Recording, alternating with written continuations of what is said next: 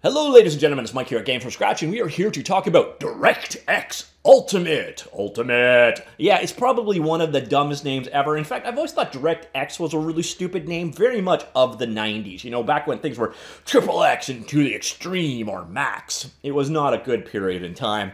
And throwing Ultimate on the end makes it even dumber. But truth is, this is a very interesting development that was announced at, uh, we'll call it the Not Game Developer Conference for reasons that I honestly can't mention, which is really, really stupid. Um, the Game Developer Conference didn't happen this year, uh, but there were all the announcements that would have come out from that conference, and the announcement of DirectX Ultimate is one such announcement. So here we are, we are on the DirectX developer blog, and this is from Shawn, and that's actually interesting. In just a minute, I will explain why Shawn is interesting, but first let's talk about DirectX Ultimate. So you know what's interesting? This is going to make you feel old. DirectX 12 came out six years ago. Six years ago. That is absolutely insane. But DirectX 12 Ultimate is basically DirectX 13, I suppose you could say, or DirectX 12B. It's an extension on top of DirectX 12 to add new features and functionality. The key things being here uh, DirectX ray tracing, variable rate shading, mesh shaders, and sampler feedback. Now, technically, DirectX ray tracing and variable rate shading were already actually kind of added, but what this is is a kind of a stamp of approval. Anything that is listed as DirectX 12 Ultimate compatible is going to have all of those feature set. It's a way of future-proofing the ecosystem. Now, if this is sounding a little bit like Games for Windows Live, you're not completely wrong. What this is going to do is make it so that if you buy a certain baseline amount of hardware, you're going to be compatible with the X series of consoles. So right now we've got the Xbox X, oh, sorry, the One X, the um, we, so yeah, Xbox One X, then we're going to have the Xbox, whatever the next one is going to be called. And then you're also going to have any DirectX 12 Ultimate compatible PCs. And developers are going to be able to target all of those using a, the same API. Now, once again, the key things here is we've got new, uh, they're talking about, uh, you know, it's going to have support for existing features, direct X ray tracing and variable rate shading, also the new major features of mesh shaders and sampler feedback. We'll get into those in a little bit, uh, but DirectX 12 Ultimate is fundamentally an additive initiative that provides gamers with assurance that their hardware meets the highest bar for feature support in next generation games. It is very important to note that DirectX 12 Ultimate will not impact game compatibility with existing hardware which does not support the entire breadth of the DirectX DirectX 12 Ultimate features. In fact, next generation games which use DirectX Ultimate DirectX 12 Ultimate features will continue to run on non-DirectX 12 Ultimate hardware. Although such hardware won't provide the visual benefits of the new features, it can still provide a very compelling game experience on next generation games depending on the specifics of the hardware. Uh, on top of that, this is in addition to DirectX 12, we got a couple of tools being mentioned such as the PIX graphics Ultimate optimization tool and the open source HLSL compiler or the high level shader language compiler that is the uh, GLSL equivalent in the world of DirectX. X. Um, so essentially, it is a, a branding system for PC games to be compatible with the Xbox X series of hardware. And you see kind of where they're going with this. And I guess that's kind of what they're saying here, amplifying a virtuous cycle. As any gamer would attest, there are few higher virtues than the appreciation of a well-crafted and beautiful game. Okay, that's a weird sentence. Uh, DirectX 12 Ultimate creates unprecedented opportunities for the entire gaming ecosystem, creating a self-reinforcing virtuous cycle that results in a better gaming experience. Do you think a marketer wrote that? I think a marketer probably wrote that. Uh, the cycle below describes the general graphics improvement process in games that occurred for many years. As new hardware slowly reaches market saturation, the number of addressable sockets within the next generation graphic features increases. As the number of sockets within those features increases, the number of game studios willing to adopt the new features likewise increases until finally market saturation of hardware occurs and most game studios adopt the features. Prior to DirectX Ultimate, there was very, very little, very little limited. Okay, yeah, I added my own words words, overlap between two cycles. Even when hardware was similar, the software interfaces were dissimilar, discouraging aligned adoption by developers. By unifying the graphics platform across PC and Xbox Series X, DirectX Ultimate serves as a force multiplier for the entire gaming ecosystem. No longer do the cycles operate independently, instead they now combine synergistically. Uh, when Xbox Series X releases, there will be uh, many millions of DirectX 12 Ultimate PCs in the world uh, with the same feature set, catalyzing a rapid adoption of new features. And when Xbox Series X brings a wave of new console gamers. PCs will likewise uh, benefit from the vast surge of the new DirectX 12 Ultimate capable hardware.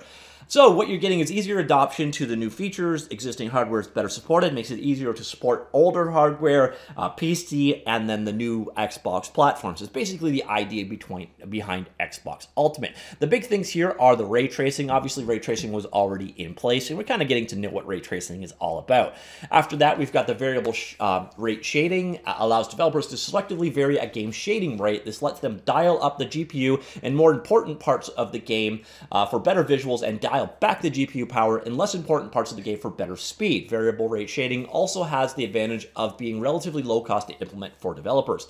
This is actually really kind of nice when you're talking about scaling across hardware once again. So if you've got the ability to, to rake up and down uh, the shading rate, you, you know, you've got an easy kind of power adjuster switch there. And then finally, mesh shaders give developers more programmability than ever before by bringing the full power of generalized GPU compute to the geometry pipeline.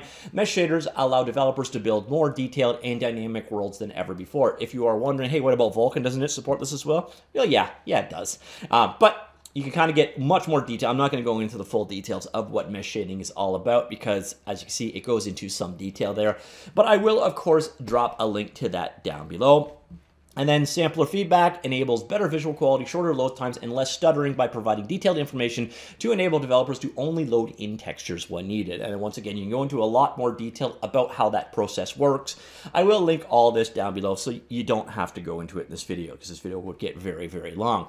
So that is kind of it. That is the announcement from Microsoft themselves. Now you may be wondering, okay, well, that's nice. Who's going to support this? Well, Obviously, the new uh, Xbox hardware is going to support it, but actually some people do to this current day. But before we move on, a little bit of trivia. That name sounded all familiar, Shawn Hargreaves? Well, actually, I've known this guy for 25, 30 plus years because this is the author, the original author of the Allegro DOS-based library. It actually started off in well, the A I think stood for Atari, so uh, it goes back for a very long time. But if, if you're wondering, um, he is now the head of the Xbox team in some capacity. I'm not sure his direct title, but yeah, he's an important guy on the DirectX team now. So the guy that wrote Allegro, if you've ever used it all those years back, yeah, he's now in charge of Xbox. Oh, sorry, um, DirectX, which is kind of cool. So, anyways, in terms of who actually supports this stuff, well, we have uh, NVIDIA on board in a big way. Uh, so they've already got this page up as well. I will link to that. Um, you know, in the same linked article down below. Kind of goes through the same things. You got some videos explaining each one of these things. So again, we've got variable rate shading, and then mesh shading being added, sampler feedback, and of course ray tracing, which was already in existence. If you're wondering about the supported GPUs, so right now NVIDIA is the only one that has current gen hardware that supports the DirectX Ultimate logo or name or branding or whatever.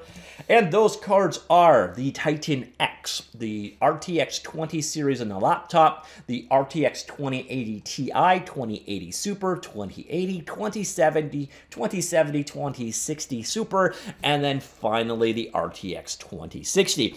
So basically, all existing RTX cards, although I do believe they, no, they didn't brand. The GeForce 1650 and 1660 are not RTX cards. They are um, so they do not have the dedicated RTX hardware or the ray tracing hardware in them, so they are not supported. So that is it from the NVIDIA side. So basically all of their modern uh, premium cards, all their modern RTX cards are going to be uh, DirectX Ultimate compatible, or already are, I suppose you could say. And then from the um, AMD side of things, they've also come in here and they're going to be supporting the RDNA 2 uh, hardware going forward. Now, do keep in mind, AMD are actually the power, the technology ultimately powering um, the Xbox next generation and I believe the PlayStation next generation. So obviously from the platform side of things, they are going to have support and they're basically getting into the same stuff. Once again, the four key features of Ultimate, ray tracing, variable shade, uh, variable rate shading, mesh shaders, and sampler feedback. Now don't forget, obviously uh, DirectX 12 has support for everything DirectX 12 currently has on top of those four new features.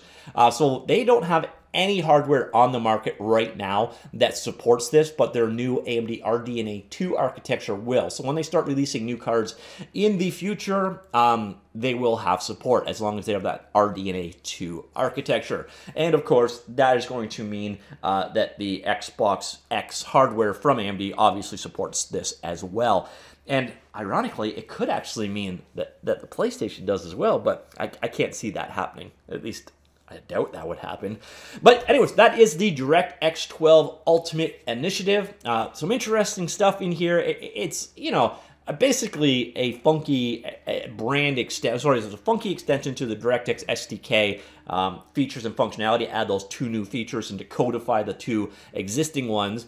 Um, and these are all nice features, and ray tracing definitely is nice, but mesh shaders and sampler feedback should be nice as well. Again, if you want to get into more details, I will link this original uh, article. It goes in, it's probably the the biggest bit of detail you can get on these things. You can drill down and learn a bit more about all of those technologies. So that will be linked in the article down below. But definitely um, interesting at the very least. It, it, you can see that Microsoft's moving towards having, you know, one API to rule them all, and they're obviously trying to move away from the idea of console generations. And I, I, think it's a, it's an interesting move. It's going to bring the platforms and the PC closer together. Um, I, I, don't see it as a loss by any means, and, and it does make it easier for um, developers to develop for today's hardware and then scale it onto the Xbox One X when it comes out. So they at least know what bit of today's hardware, you know, being that uh, those NVIDIA cards 2060 and better, will be basically compatible with the feature set of the new Xbox coming out. Now, I don't have a release date for the SDK. Uh, be interesting to see when that actually comes out. Um, we'll be adding the 12 underscore 2 feature level in the API in the next update to Windows after 20H1. For now, all the features that make up uh, DirectX 12 Ultimate are implemented, ready for games to start using, but the feature level Enum is not yet implemented. Uh, so I don't know when we're going to get our hands on these SDKs or we're going to be able to run any of this stuff, but uh, yeah, that's it. Uh, definitely uh, worth checking out. Also, keep in mind there's some linked articles off here. There's a getting started guide available um, right here. Oh, okay, so here we got a little bit more detail actually. Until then, anyone can get pre-release builds of Windows using the Windows Insider program. So if you want to go down that road, uh, you're basically going to be doing it on a virtual machine, and you're going to be using insider versions of the SDKs as well. I'll, I'll link this as well in um, looks like we've also got some of the DirectX 12 Ultimate features being showcased in the samples uh, repo as well. So uh, this is a nice list of uh, resources to get you going. We'll link that down below as well. So that is it. That is DirectX 12 Ultimate. Once again, one of the dumbest names in my opinion. It was dumb when it was DirectX 12, and it became even dumber when you threw Ultimate on the end. But on the whole, an initiative that definitely looks interesting. Let me know what you think of this, of this movement of kind of tying the two platforms a little bit closer together. They've done that in the past and got kind of burned, but I think we're I think we're living in a different world. I don't think we're going to be seeing you know um, Windows Live for Games or whatever the hell it was called, version 2.0. I think this is a better approach, and it, it's going to be uh, interesting to see how this all works out. But let me know what you think. Comments down below, and I will talk to you all later. Goodbye.